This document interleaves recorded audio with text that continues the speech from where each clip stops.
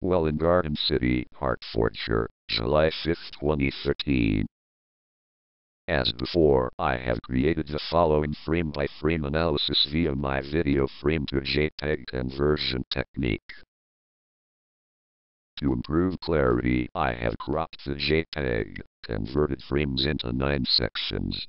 In this particular instance, the activity is seen in section 4.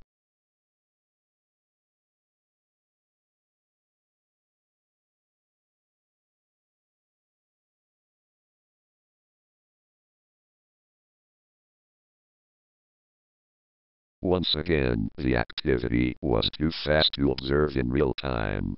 To improve clarity still further, I have repeated this sequence with the addition of pan, zoom, freeze frame, and contrast enhancement.